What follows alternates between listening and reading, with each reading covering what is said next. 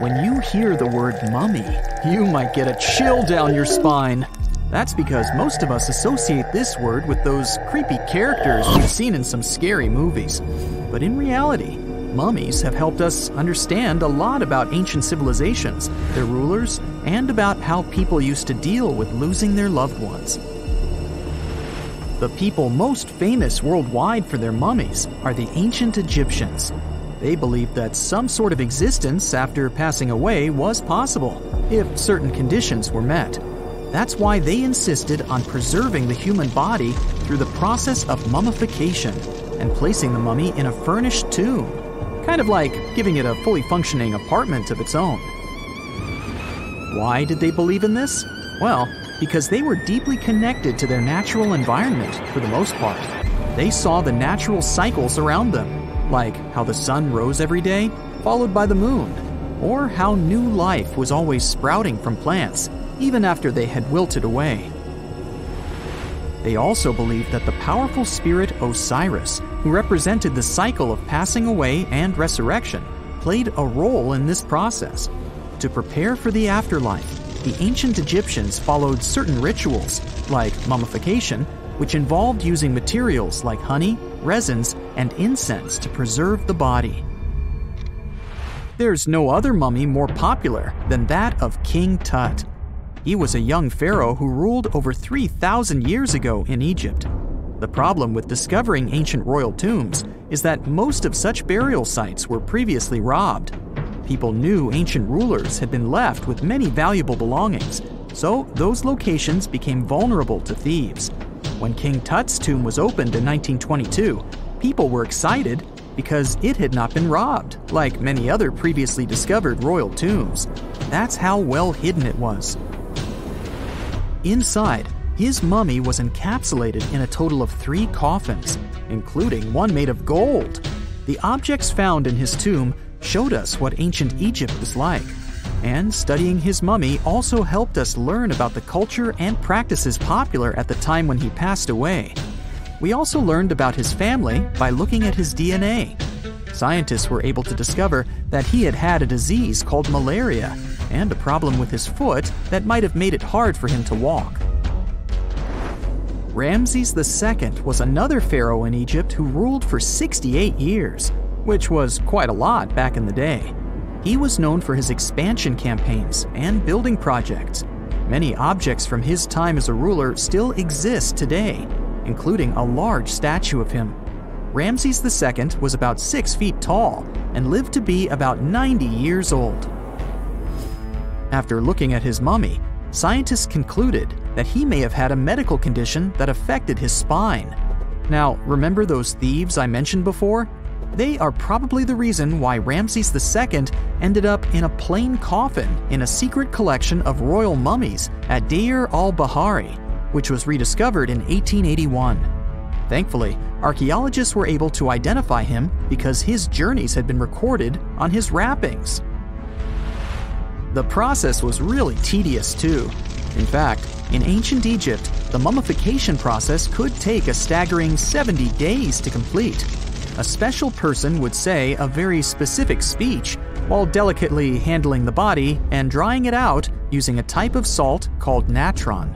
They also used linen and resin to make the body look more lifelike and to wrap it in cloth.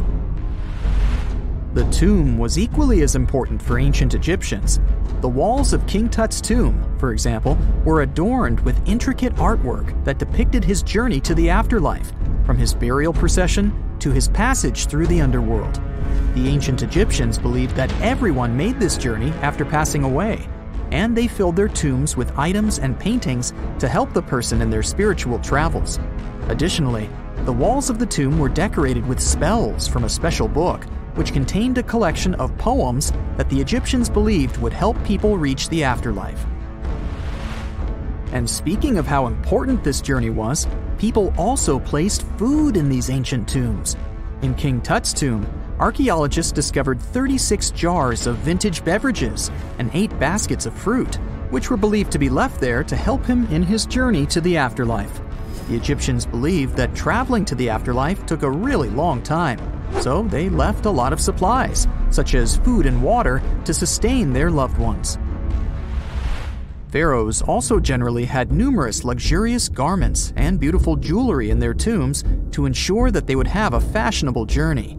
These items included various types of linen clothing, such as tunics, scarves, gloves, and headdresses, as well as a lot of gold jewelry with precious stones, like bracelets, buckles, pendants, necklaces, rings, and even precious depictions of insects for protection. Some were also deposited with fans made from ivory and ostrich feathers to keep them cool in the afterlife. Some ancient rulers were even placed in their forever apartments along with boats. For example, Pharaoh Khufu built the Great Pyramid at Giza as his tomb, and a large ship was found inside. King Tut, however, was buried with multiple boat paddles, but no actual boat. Instead, he had three chariots and numerous walking sticks made of precious materials, perhaps indicating he'd rather travel to the beyond by land, not by water. Amongst the most interesting objects found near ancient mummies are bottles of oils and perfumes. If rulers were supposed to be fashionable, why not smell nice too, right? Also, some of them had some ancient kinds of board games, most of them made out of precious materials like gold or ivory. One of those games was called Senet. It was very popular amongst the ancient Egyptians and very similar to modern day chess. The ancient Egyptians may have the most famous mummies out there, but they weren't the first to invent the procedure. In fact, it all started in South America with an ancient civilization named the Chinchorro. As far as we know today, these people were the first to mummify their loved ones that had passed away they did it somewhere around 2,000 years before the Egyptians started their own rituals. Sure, we can tell a lot about ancient rulers by studying these mummies, but until recently, we had no idea what they really looked like during their lifetime. Not so long ago, though, some very special mummy paintings were found by archaeologists studying ancient Egyptian objects. These mummy portraits are highly detailed paintings of individuals that were made while they were still alive. Such paintings were often painted on wood, as opposed to the classical portraits we all know about, which are painted on canvas. They are known for their realism and beauty, and have even been used by researchers to diagnose diseases by comparing them to the corresponding mummies. Some of these portraits also include depictions of jewelry, which was later found on the mummies. The recent discovery of these mummy portraits in Central Egypt is significant, as it marks the first time in over a century that such paintings have been found. Mummies appeared all around the world naturally, too. Mummification can occur without people intervening because of natural conditions, like extremely cold or hot environments, places with a lack of oxygen, or accidental exposure to chemicals that preserve the body. These conditions don't allow bacteria to grow, resulting in the body remaining more or less intact. Famous Otzi was one of these mummies. We know today he was a man who lived around 5,000 years ago in Europe. But upon his discovery in the Alps in 1991, Austrian authorities initially believed that he was a modern mountaineer because of how well preserved the body was. However, after the Iceman was removed from the glacier, it was determined that he was actually from the Copper Age. That's it for today. So hey, if you pacified your curiosity, then give the video a like and share it with your friends. Or if you want more, just click on these videos and stay on the bright side.